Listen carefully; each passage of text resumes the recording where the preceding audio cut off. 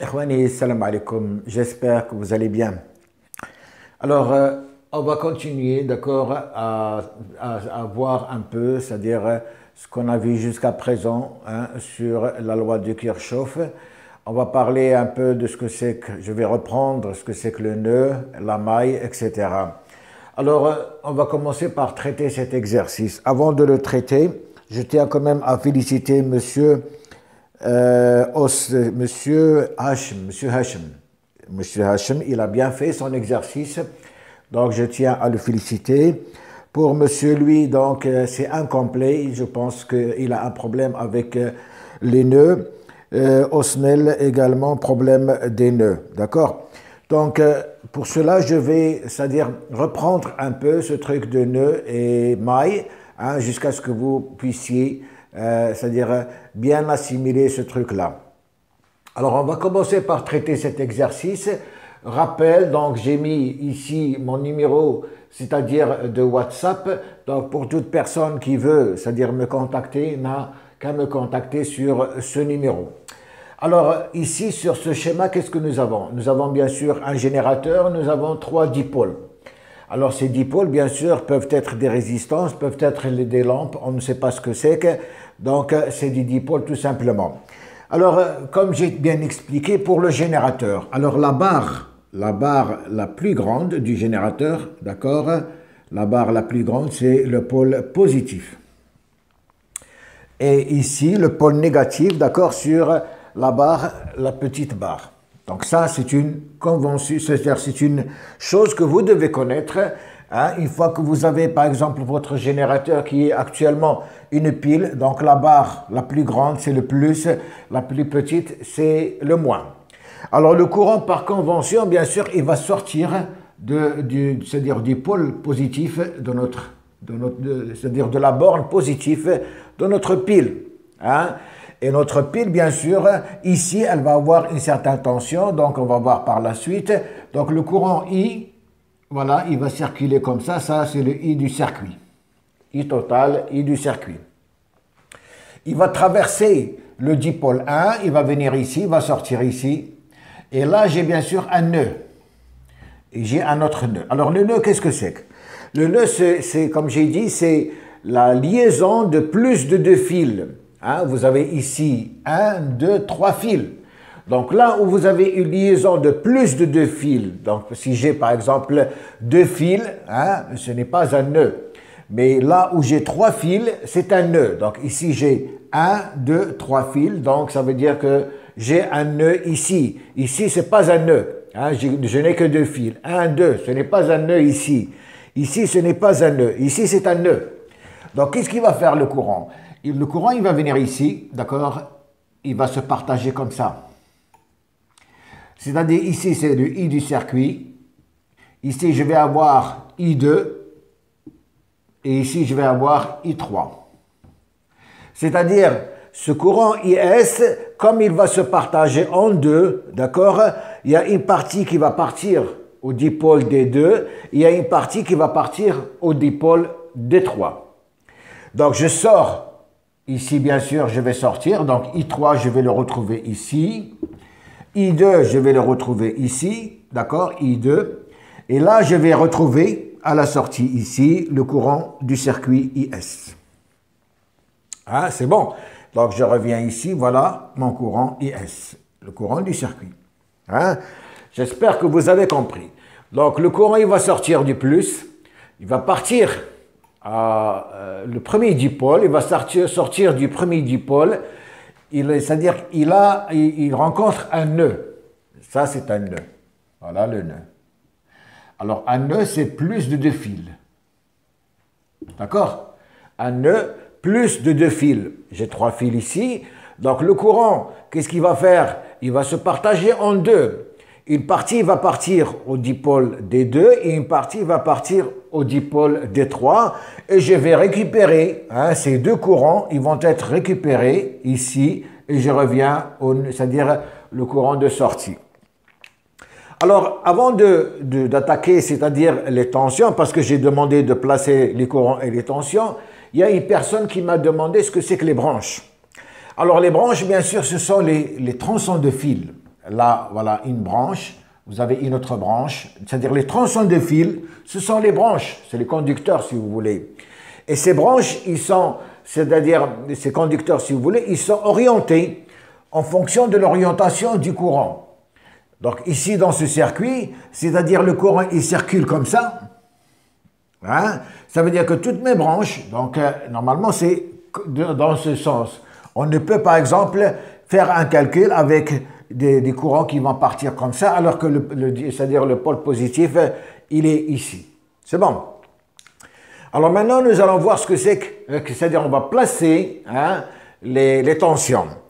Alors pour le générateur, la tension du générateur, normalement, elle est toujours placée dans le sens du courant. Ça, c'est la tension du générateur. Toujours dans le sens du courant. U générateur. Donc, par règle générale, la tension du courant, toujours au même sens que le courant. Pour le dipôle, c'est-à-dire les dipôles, ce sont des, des récepteurs qui vont consommer de l'énergie. Donc, des, donc la, la, tension, elle est toujours dirigée, d'accord, ou le sens contraire du courant. Donc ici, je vais avoir une tension comme ça. Ça, c'est UD1 dans le sens contraire du courant. Ici, UD2, donc dans le sens contraire. UD2. Et UD3 également, donc dans le sens contraire. Donc je vais passer ici. Voilà, UD3. D'accord? UD3. Dans le sens courant. Dans le sens contraire du courant. Ça, c'est D3. D'accord? Donc vous voyez, les tensions, ils sont toujours, c'est-à-dire pour les récepteurs. Hein? Pour les générateurs, c'est dans le même sens du courant. Pour les récepteurs, sens contraire. Hein? Tous les récepteurs, hein, c'est-à-dire qu'ils vont consommer de l'énergie, ces récepteurs, c'est-à-dire la flèche de la tension, elle est toujours dirigée vers le sens contraire du courant. Est-ce que c'est clair donc je pense que euh, j'ai bien expliqué, c'est-à-dire le sens du courant, il va partir du plus vers le moins, il va se partager au niveau d'un nœud, et un nœud c'est plus de, de, fils, d'accord Et les tensions, ils vont, c'est-à-dire dans le sens contraire du courant. Bien. Alors maintenant, nous allons voir les mailles. Qu'est-ce que c'est qu'une maille? Alors pour simplifier les choses, si je numérote ici, si je mets par exemple A, D'accord? B, C, D, E, F. D'accord? Donc je vais effacer ici, hein, pour bien, je vais effacer ici, d'accord? Je vais effacer ici.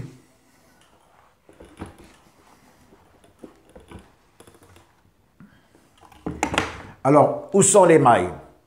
La première maille, donc la première maille, première maille,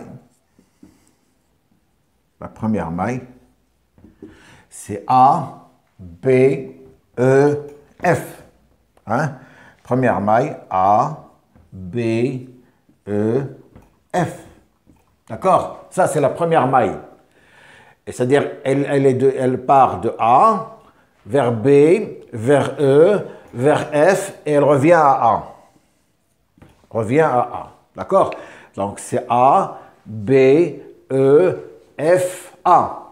Ça, c'est la première maille. La deuxième maille, la deuxième maille, la deuxième maille, d'accord? B, C, D, E, B. Hein? B, C, D, E, B. Ça, c'est la deuxième maille. Hein? B, C, D, E, B. Et la troisième maille, troisième maille, d'accord La troisième maille, c'est A, d'accord C, D, D, F, A. C'est l'ensemble, d'accord? C'est cette, cette maille, d'accord? C'est cette maille. Donc, c'est A, A, B, C, D, E, F, A. C'est toute cette maille. A, donc je, vais à A, B, C, D, E, F, et je reviens à A. Ça, c'est la troisième maille. Donc, vous voyez que les mailles, c'est-à-dire si vous numérotez un peu toutes, c'est-à-dire euh, les, les, bornes de votre circuit, vous allez pouvoir déterminer les différentes mailles. Et ici, on les voit très bien. Donc, la première maille, c'est celle-là. Voilà, je vais, je vais mettre l'essence des mailles. Donc, je prends un sens positif comme ça. Donc, ça, c'est la première maille. D'accord La deuxième maille. D'accord Et la troisième maille, c'est l'ensemble. Est-ce que c'est compris hein? Je pense que comme ça, vous allez, vous, c'est-à-dire, euh, comment dirais-je, vous y retrouver hein, pour déterminer les différentes mailles. Et bien sûr, dans chaque maille, je vais prendre un sens positif, d'accord, pour pouvoir déterminer la valeur des différentes tensions. C'est bon Bien. Alors, je vais maintenant calculer, puisque j'ai, c'est-à-dire on me donne la tension des générateurs, ici, on me donne, elle est égale à 10 volts. D'accord? On me donne la tension du dipôle D1, qui est égale à 4 volts. Et on me demande de calculer la tension D2 et la tension D3. Hein? Alors, qu'est-ce qu'on a vu la dernière fois? La dernière fois, on a dit, d'accord, la somme algébrique de toutes les tensions, la somme algébrique de toutes les tensions, d'accord, des différentes tensions du circuit, est égale à 0. Ça veut dire, je vais avoir la tension UG, d'accord? Donc je vais UG plus la tension, si je prends la maille, je vais prendre la maille, cette maille, A, B, E, F, A. Attendez. Donc euh, ici, je vais, euh, je vais effacer. Donc euh, ici, je vais marquer 10 volts. D1, je vais marquer 4 volts. D'accord? Et là, je vais marquer 1 ampère. Comme ça, je vais effacer cette partie ici pour avoir plus d'espace. Je vais effacer ici. Je vais effacer tout ça. Je vais garder uniquement les mailles. Hein? Alors, on va appliquer la loi de Kirchhoff. La loi de Kirchhoff, qu'est-ce qu'elle dit? Pour les tensions, si je prends par exemple la maille A, B, E, F, A, parce que je cherche, je connais la tension du dipôle D1, je connais la tension du, c'est-à-dire du générateur, mais je ne connais pas la tension de D2. Ça veut dire que si je prends cette maille, dans cette maille, qu'est-ce que j'ai? J'ai le générateur, j'ai D1 et j'ai D2. D'accord? Donc si je prends la maille 1, la maille, pardon, je vais prendre la maille 1. Je m'excuse. Alors, je vais prendre la maille 1, la maille 1, d'accord Qu'est-ce que j'ai? La somme des tensions, d'accord, dans la maille 1, égale à 0. Qu'est-ce que ça veut dire? Ça veut dire que j'ai UG plus la tension UD1 plus la tension UD2 égale à 0. D'accord? Alors, puisque j'ai pris un signe ici positif, c'est-à-dire tout ce qui va dans le sens, c'est-à-dire euh, le sens horaire, si vous voulez, hein, il est positif. Tout ce qui est dans le sens contraire, il est négatif. Alors, le UG, il est positif, donc je vais avoir UG, d'accord?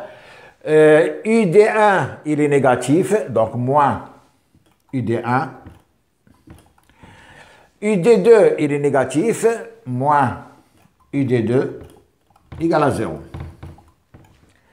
Ça veut dire que je vais avoir, puisque je cherche, je vais avoir UG est égal à UD1, d'accord, plus UD2. UD2 est égal que je cherche, UD2, pardon, pardon, UD2 est égal à UG moins UD1 est égal à 10 volts moins 4 volts, d'accord? Donc, celle-là, elle est égale à 6 volts. Voilà. Voilà la valeur de ID2, 6 volts. C'est bon. Donc je viens de déterminer la valeur de ID2 en, appliquant la loi des mailles hein, dans la maille 1, dans cette maille ici. C'est bon? Bien. Maintenant, je dois calculer la, tension ID3. Donc, puisque je connais ID2, je vais prendre cette maille, la maille 2, je vais avoir deux dipôles. Alors, qu'est-ce que je vais avoir? Dans la maille 2,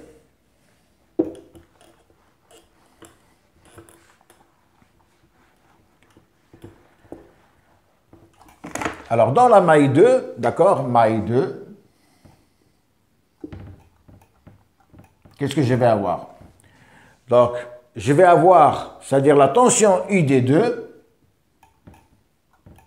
plus la tension UD3 égale à 0. D'accord? Ça veut dire que en fonction de, ce sens, je vais avoir UD2 moins UD3 égale à 0. Parce que ça, ça me définit le sens des tensions. Hein, ça me donne le sens des tensions. Ça veut dire que UD2 égale à UD3. UD2 est égal à 6 volts, donc UD3 égale à 6 volts également. Donc UD3 égale à 6 volts également. C'est bon. Hein? Donc je viens de déterminer la tension UD3 UD2, connaissant UD1 et la tension du générateur. Est-ce que c'est clair? Hein? J'espère que vous avez compris. C'est bon, bien. Maintenant, nous allons passer euh, à la deuxième question, c'est-à-dire calculer I2 et I3. Alors, pour calculer I2 et I3, nous allons euh, faire la loi des nœuds. Alors, la loi des nœuds, qu'est-ce qu'il dit? La loi des nœuds, loi des nœuds, loi des nœuds, elle dit tout simplement, tout ce qui rentre, tout ce qui rentre, tout ce qui rentre, égale à tout ce qui sort. D'accord? Si je prends mon nœud ici, hein, je prends mon nœud, le voilà, le voilà mon nœud, qu'est-ce que j'ai? J'ai, c'est-à-dire IS qui rentre, le courant IS qui rentre, voilà, il rentre ici, voilà le courant IS, il rentre. Qu'est-ce que j'ai? J'ai I2 qui sort. I2, d'accord, il sort. Et j'ai I3 qui sort. C'est bon. Ça veut dire que IS est égal à I2 plus I3. Hein? Ça, c'est la loi des nœuds. Alors, puisque IS égale à 1, c'est-à-dire 1 ampère, IS égale à 1 ampère, et, la tension UD2 égale à la tension UD3. Ça veut dire que le même courant qui traverse le dipôle 1 le dipôle 2 est égal au courant qui, qui traverse le dipôle 3. Ils ont le même courant. Hein? S'ils ont le même courant, ça veut dire que I2 est égal à 0,5 et 3 égale à 0,5. Puisqu'ils ont la même tension. Puisqu'ils ont la même tension. Si, les tensions étaient différentes, à ce moment-là, I2 ne sera pas égal à I3. Et puisque donc le, total de l'ampérage est un ampère, donc il ne peut être que 0,5 plus 0,5. Donc voilà, nous avons résolu, cet, exercice qui, qui, est un peu simple. Pour d'autres, il était un peu difficile, mais euh, c'est-à-dire c'est important à, euh, comment dirais-je, à, assimiler. Alors, avant d'aller plus loin, je vais reprendre un peu les définitions de ce que c'est que euh, le nœud, ce que c'est que la maille, ce que c'est que la branche, ce que c'est que... C'est-à-dire, je vais reprendre un peu ces définitions et je vous demande de les noter parce que c'est très important. Donc, on va commencer, d'accord, par donner des définitions, c'est-à-dire de ce qu'on a vu jusqu'à présent. Donc, le circuit électrique, c'est quoi?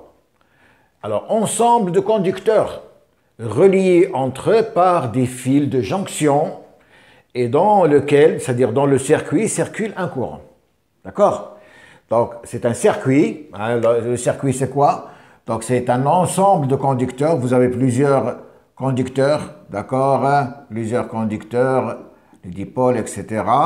Donc, euh, ce circuit, c'est-à-dire, il circule un courant I dans ce circuit, et puis, bon, il est, euh, c'est-à-dire, ensemble de conducteurs euh, reliés entre eux par des fils. Donc, vous avez plusieurs dipôles qui sont reliés entre eux par des fils, d'accord? Et dans ce circuit circule un courant électrique.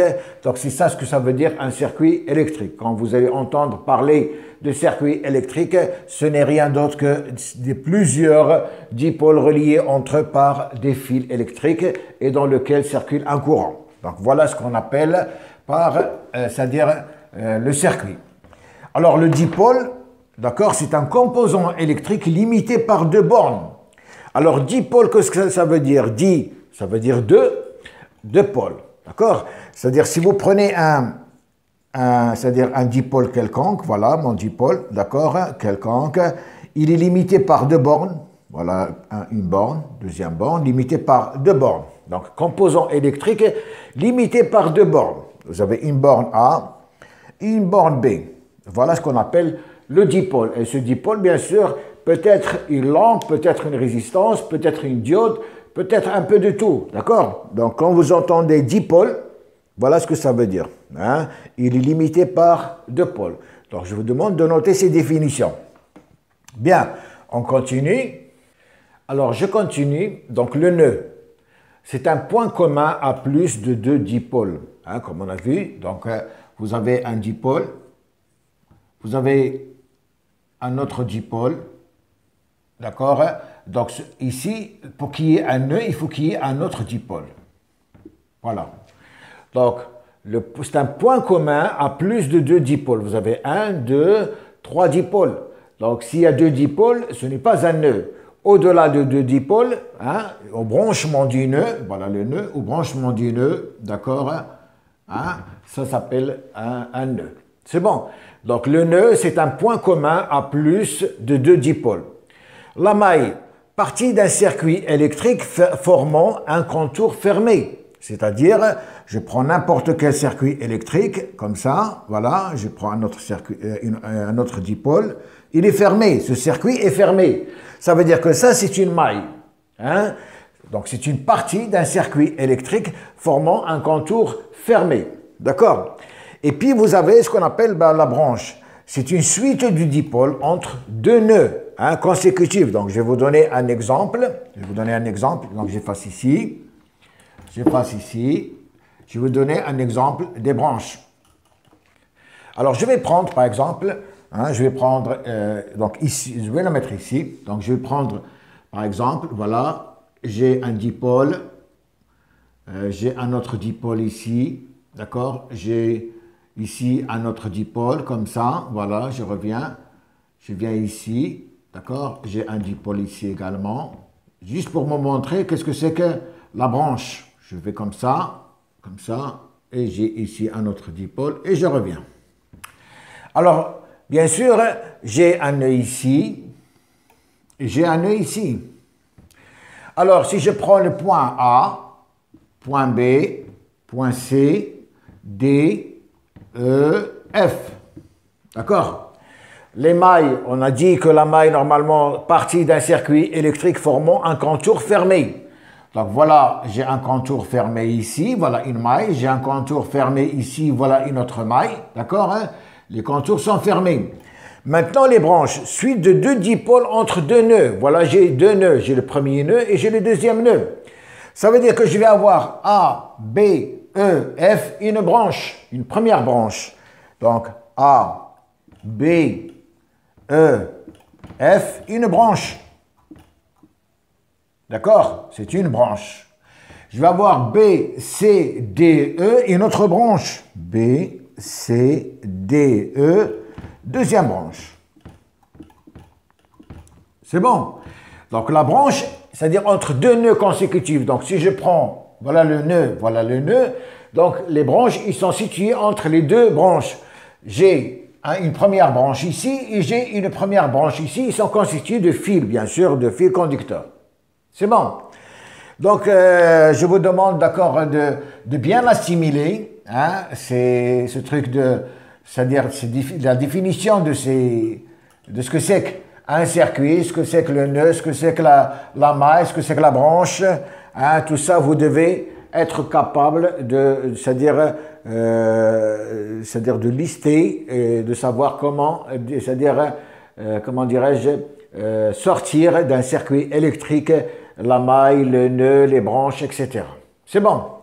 Donc voilà, donc pour cette vidéo, c'était juste un rappel parce qu'il y a des gens qui, qui n'ont pas compris encore ce que c'est que le nœud, ce que c'est que la maille, comment appliquer la loi des nœuds, la loi des mailles. Euh, donc voilà, c'était un peu un bref, euh, une brève révision, si vous voulez, hein, de, de, ces trucs-là. Donc la prochaine fois, on va voir, euh, c'est-à-dire, on va parler de la résistance, on va parler de la loi d'Ohm, d'accord? Comme ça, on aura terminé avec euh, on parlera également, c'est-à-dire de la diode. On aura terminé avec les différents dipôles hein, euh, concernant le courant continu pour attaquer par la suite euh, comment réaliser un schéma électrique dans les normes et voir un peu les symbolisations des différents dipôles. D'accord? Alors d'ici là, je vous remercie. À la prochaine, Inch'Allah.